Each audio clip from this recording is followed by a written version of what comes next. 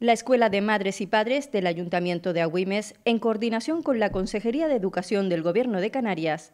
organiza el programa formativo para madres y padres de Agüimes Educar en Familia 2012-2013, con el que se pretende dar respuesta a todas aquellas dudas planteadas por las familias en relación a la educación de sus hijos e hijas. Evidentemente, no habiendo fórmulas mágicas,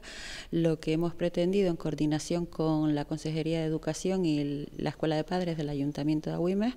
pues era acercar los conocimientos de las personas con amplios saberes en esos campos para que los hiciera llegar a las familias del municipio y después fomentar una reflexión o un debate sobre los temas abordados.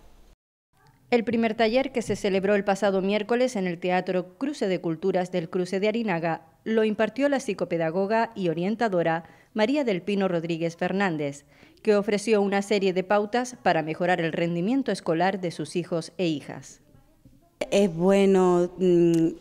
a los chicos siempre eh, potenciar que adquieran un hábito y una rutina de estudio. ¿Y cómo se hace eso? Pues desde que son pequeñitos, a través de una metodología eh, lúdica, didáctica, pero en infantil ya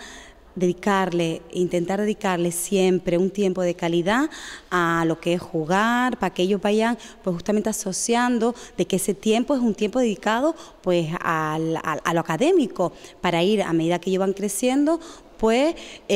ampliando ese tiempo de estudio y a su vez adquiriendo rutinas y planificación del mismo.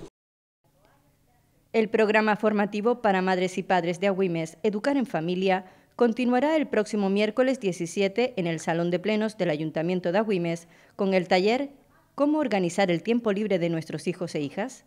a cargo del educador y mediador familiar Raúl Saavedra López. El tercer y último taller se celebrará el lunes 22 de abril en la Casa de la Cultura de la playa de Arinaga. En esta ocasión, la psicóloga Elizabeth Stamp Adolato dirigirá el taller sobre la educación efectiva bajo el título Cómo se manifiestan las emociones y sentimientos en la familia. Ambos talleres se desarrollarán en horario de tarde de 5 a 7.